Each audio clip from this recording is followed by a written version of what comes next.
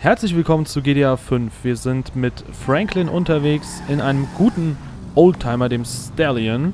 Ach, wir haben neue SMS und E-Mails. Ja, okay, die SMS haben wir ja sowieso schon gesehen. Das war die Mission für Devin Weston im letzten Part. Hier Barry mit seinem Rauchstreik. Mann, Mann, Mann, was ist mit dem Kerl los? Und hier haben wir die SMS von Michael, der ein Fluchtfahrzeug wollte, klar. Und Ammunition macht wieder Werbung. Via SMS, oder ne, via E-Mail. Ja, SMS wäre schon sehr persönlich. Und dann schauen wir mal, was wir hier für Lester erledigen können. Und hoffentlich bringt das uns mal ein bisschen Geld in Sachen Aktiendeals. Ach, da hinten ist es. Ever heard of Jackson Skinner? He's head of product development at Facade. Man, we must read different magazines. And the bastard made a fortune selling customer data to the highest bidder from Moscow to Tehran. He's handing it to the cyber terrorists on a fucking silver platter. Okay, dog, chill. Shit, chill. I got you, man. What's the play? I'm reliably informed that he has a weakness for working girls. There's a regular he likes to pick up in La Puerta. You stake her out, and she should lead you to Skinner. I'll send you the location. Meanwhile, maybe I'll take another look at the fruit share price. All right, homie. I'll be in touch. Okay, das ist jetzt die Frage. Arbeitet er für Fruit, der Kerl, oder gegen Fruit? Es ist ja so, in der Mission steigt die Aktie von dem Unternehmen, welches, von welchem man den Mitarbeiter gerade umbringen soll. So, ganz kurz schauen wir dann mal bei Fruit. Da ist es ja. So, und das heißt, es wäre ganz ratsam, jetzt unser gesamtes Geld wieder abzuheben. 580.000 haben wir aber ordentlich Verlust gemacht. Na, warum bin ich denn da nicht in die Aktien mehr reingekommen?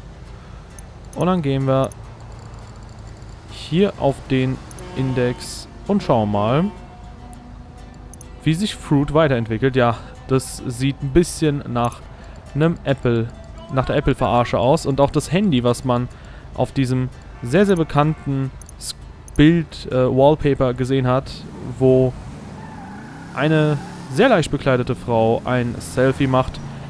Das war ja auch mit einem Fruit-Handy. Und deswegen, ja, ist es gar nicht so schwer, da eine Assoziation festzustellen. Oh. Die hat sich ein bisschen erschrocken.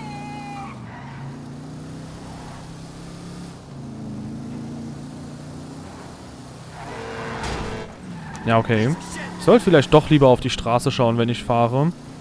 Wäre mal ganz sinnvoll. Statt mich hier hin und her umzublicken. Obwohl Los Santos ja so eine schöne Stadt ist, ja. Da würde man am liebsten selbst gerne versinken in die Spielwelt. So, und hier warten wir jetzt auf diesen Typen. Und es ist halt so, ihr investiert das Geld und dann müsst ihr es direkt... Danach müsst ihr es direkt wieder verkaufen, die Aktien.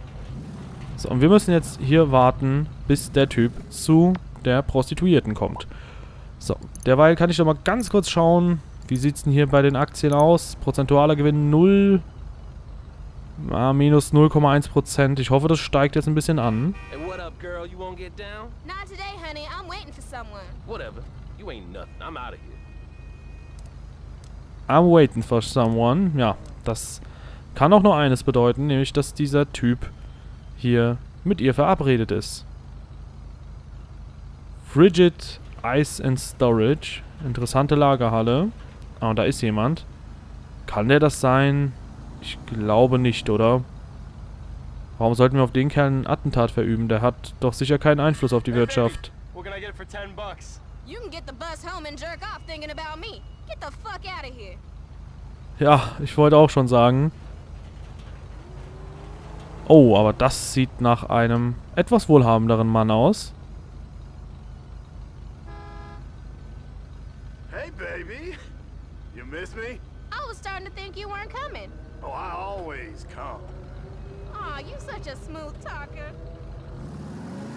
Schalte die Zielperson aus. Na, mit welcher Waffe sollten wir das tun? Usual spot, baby? What's this guy's problem? Oh my god, no! Oh, der hat sogar eine Pistole, der Kerl. Eieieiei, was geht mit dem ab?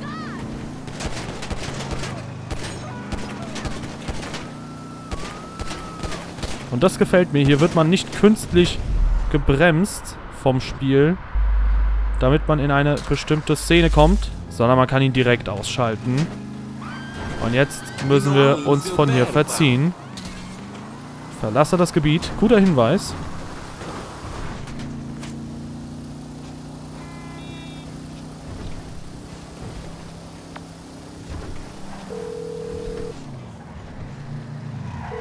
Hey, that software for you. Ah, excellent news. I'll speak to you soon. So, und dann schauen wir nochmal. Ja, erstmal. Ja, schön. Das sieht doch gut aus. Goldmedaille, da freue ich mich drüber. Und dann schauen wir ins Portfolio. Ja, die Aktie, die ging nach oben, aber ja, jetzt wird die sicher stark nach unten gehen. Ja, okay, dann verkaufe ich jetzt erstmal alle. 688.000? Okay, das war ein guter Gewinn, wie es aussieht. Davor hatte ich doch 580.000, oder? Es kann ja nicht sein, dass ich 100.000 von Lester bekommen habe, von dem alten Geizkragen. So, Los Santos Customs hat mich nochmal angeschrieben. Moment, wie sieht denn das jetzt mit der Aktie aus? Okay, Fruit ging nach oben. Geht's jetzt wieder runter? Oh, die geht jetzt allgemein nach oben. Okay, okay, ganz schnell investieren. Ja, okay, da seht ihr es. Ich habe, glaube ich, nicht gut aufgepasst. Auf jeden Fall schnell zu Michael und Trevor, dann das Geld schnell, schnell investieren. Ähm, ja, wenn man da nicht aufpasst, weiß man nicht, ob man da rein investieren soll oder die Finger davon lassen sollte, weil die Aktie jetzt ganz, ganz böse einkracht. Kann auch sein, dass ich jetzt jetzt...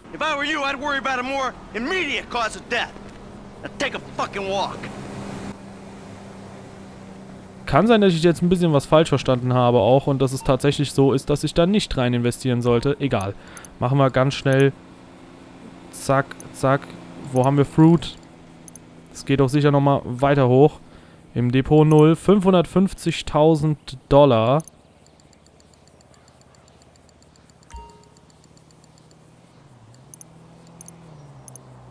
Die investieren wir. 490 ist der Wert einer Aktie. So, und es dauert jetzt zwar einen Moment, aber später wird es uns auch einiges bringen. I'm sorry I showed my thingy, okay? Okay. Da hat er scheinbar jemandem sein Gemächt gezeigt. Und der flüchtet jetzt vor Trevor. Hervorragend. Okay, 489. Das werden wir noch ein bisschen beobachten. 110.000. Mann, ist Trevor ein armer Schlucker. Im Vergleich zu den anderen beiden natürlich. Zu 110.000 würde ich nicht Nein sagen. So, und wen haben wir hier? Barry. Haben wir den mit Trevor schon mal gesehen oder nicht? Ich glaube nicht.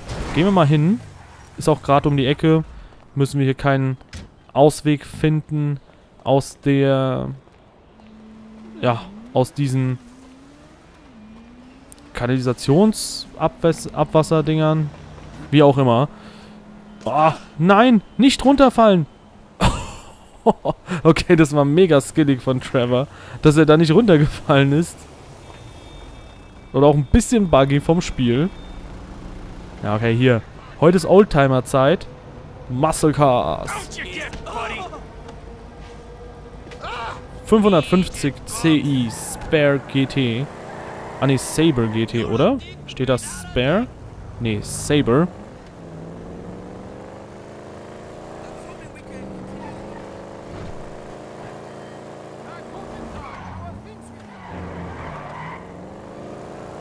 So, und Barry ist, wie schon bei Michaels Alien-Vision, hier.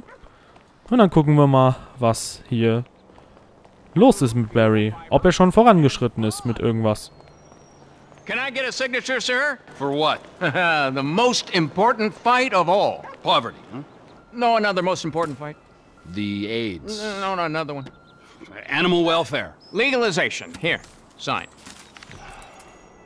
Shit, where's my pen? Where's my pen? Legalization of what? Of things the founding fathers took as a right to consume medicinal plants. Legalize smoke? Yeah. You fucking kidding me? I make a shitload of money selling that, all right? The last thing I can handle is legalization. Now fuck off! Take a drag. No, I I don't, I don't, I don't smoke it anymore. It interferes with the speed. It's really good weed. All right, give it here. Ja, da hat er sich schnell überreden lassen. Yeah. It's a real mellow contemplative high that comes from your Those clowns over there.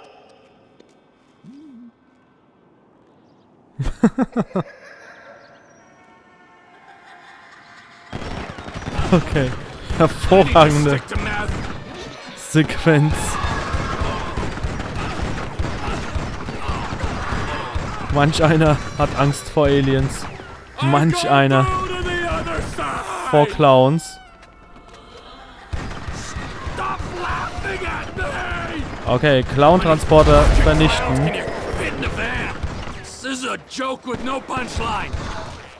Das erinnert optisch ein bisschen an die Far Cry Missionen, in denen man voll verdrogt ist.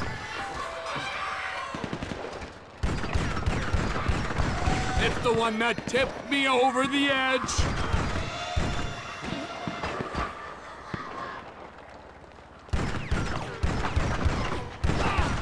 Ach, das ist eine Schrotflinte, mit der wir schießen, oder wie? This is the best, worst trip ever.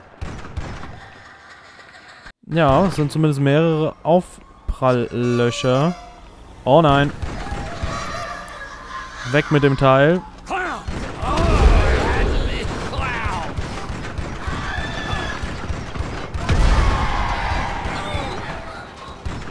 Warum läuft sie mir auch direkt in den Weg? Okay. Hier ist noch einer. Oh, oh, da ist noch einer. Zwei.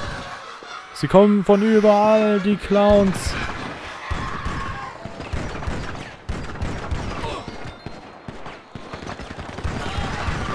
Die ziehen einem tatsächlich sogar Leben ab. Ich habe mich gewundert, warum ich bis jetzt kein Leben verloren habe.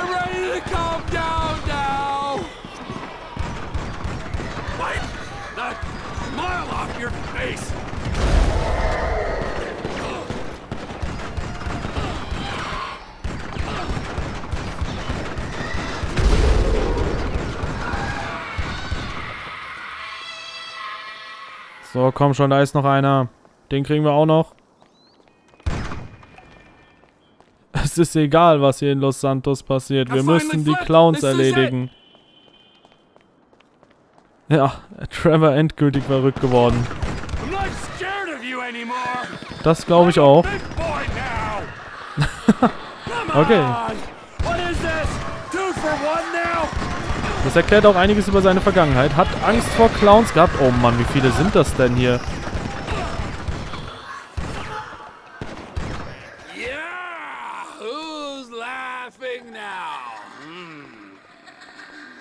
Spoke too soon.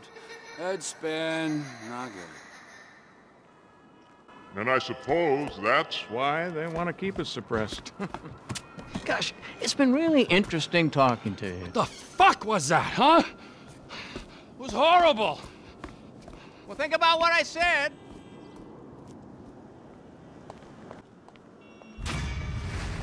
Ja, bestanden. Leider nur Bronze. Oh Mann, da muss ich mir mal anschauen, was ich da nicht erfüllt habe. Aber ich fand dieses Argument von Trevor auch gut. Ähm, ich verkaufe das Zeug und verdiene damit ein Vermögen. Das Letzte, was ich gebrauchen kann, wäre das zu legalisieren. Er hat recht. Och Mann. Nicht, dass ich das, was er tut, befürworten würde, aber er hat einen Punkt, warum er nicht dahinter stehen sollte. Ja, und dann würde ich sagen, nutzen wir jetzt nochmal den Rest der Folge, um hier nochmal zu randalieren.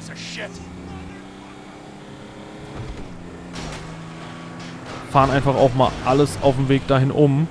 Bam. Einfach alles kaputt machen.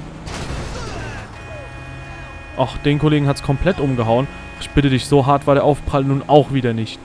Das war gefühlt 40, 50 km/h in GTA-Geschwindigkeit 20.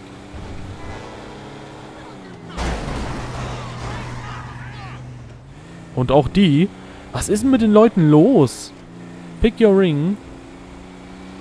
Ja, wir schnappen uns jetzt erstmal unsere Waffe und dann wird schon wieder irgendjemand hier verscheucht.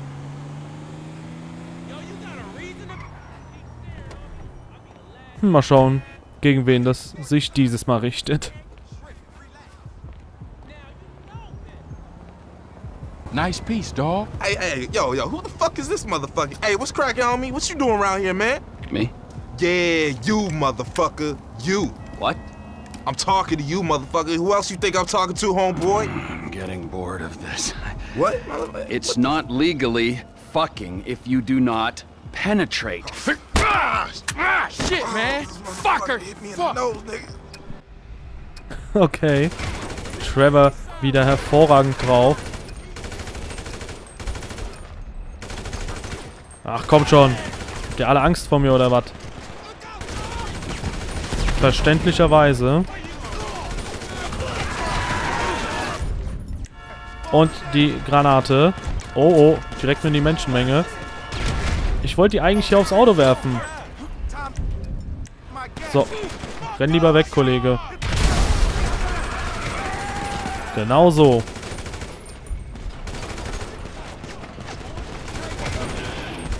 Come on, homie. There's only one of me. Und weg hier.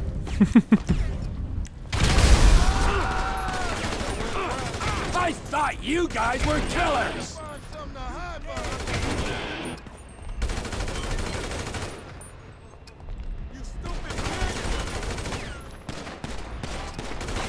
Ach komm, der doofe Zaun. Any more mother jokes? I want to hear them.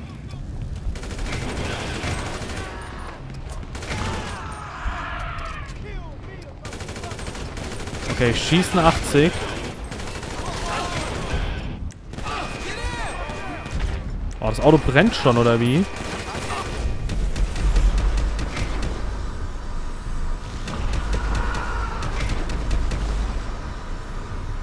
Oh ne, die sind hier alle auf dem Dach, oder was? Ja, komm mal einer runter, bitte. On. Der ist hier mit dem Raketenwerfer angekommen. Ah, ich brenne. Ich brenne. Boah, du Mistsau. When you gonna send out some real gangsters? 34 Kills. Ja, da bin ich aber ein bisschen selbst enttäuscht. Ja. 50 hätten wir töten müssen. Gut. Aber die haben wir alle vertrieben.